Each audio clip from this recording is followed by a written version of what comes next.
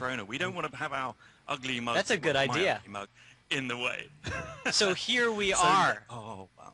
two minutes from totality in Svalbard. People across the world viewing with us in Porca puttana. No, va via proprio ora. just keeps disappearing slowly, slowly, and so quickly too. It'll be gone in just a moment. Vedi la fisica come predice quello che succede. Allora già really si sapeva tutto. This is wonderful. tutto l'universo. Just the edge of a sliver. I didn't know a sliver could get that small. We are now a minute away from totality Siamo capaci di capire cosa succede extraordinary how 2068. Quando It's- sarà? Siamo Come di sarà? fame. It is creeping and Siamo capaci di creeping fare in. sacco di cose. Once you think it can't get any smaller, it gets more It small. going. I've never seen this, Eric. I- I've seen so many, you know, so much footage, so many uh, eclipses when this is happening, but I've never seen this tiny, tiny sliver. Now they're probably going to get ready to remove the filter any minute now, so we get to see this. 61 si può applicare, lo diciamo, che mese te It's there, ricordi? mate. It's there. It's there. It's there. Mancava un It's there. 15 mese. febbraio. It's Ma there. mancava un mese It's there. due giorni, fine. It's there. No, c'è ancora appena appena. And it's gone. se sto zitta cambio. Right now, are they going to change the filter for us? Please. We wait. Sì, and- sì. Oh! Oh, goodness. That is utterly fantastic, isn't it? There's the Oh, corona. There are the God. prominences we've been talking about. Wonderful. This is totality from Svalbard. And look at the side, the top left corner, you see hints of the Bailey's beads right there. Isn't that right?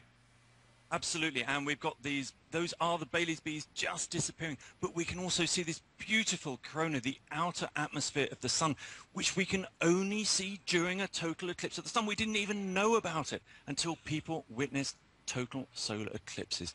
Absolutely stunning images from Svalbard of this total solar eclipse. Qual era la probabilità Ladies and gentlemen, this right now we are witnessing in its total complete glory. What is a total solar eclipse? So beautiful. Qual è la probabilità? Absolutely stunning. se la fai, And. I think actually what what we've got there, Eric, is we've got a couple of prominences uh, that are showing up at nine o'clock and eleven o'clock on the solar disk. Absolutely beautiful.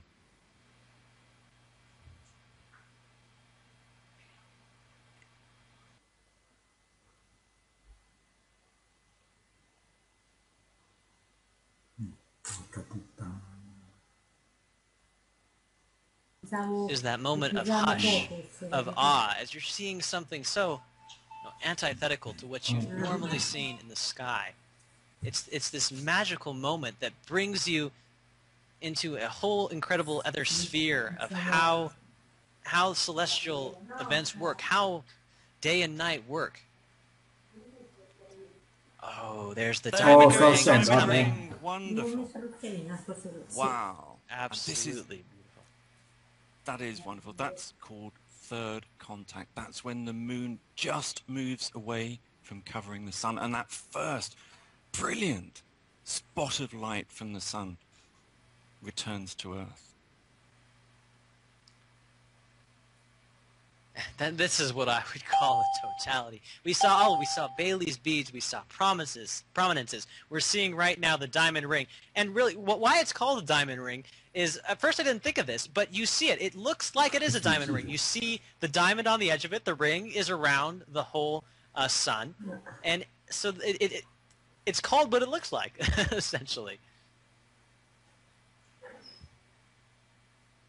and that's going to get brighter and brighter until in the end it overwhelms the camera and they're going to have to put the filter back on so make the most of these final moments of seeing that incredible view wonderful Absolutely gorgeous. And I, I, I'm betting they're putting the filter back on right now, Paul.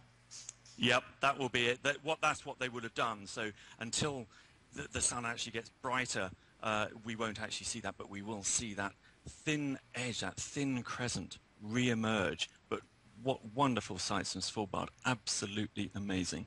And one thing that I wanted to share with you is a very special image that uh, Matt Francis just uh, showed with us. Um, well, let's let's bring them in. Oh, this is uh,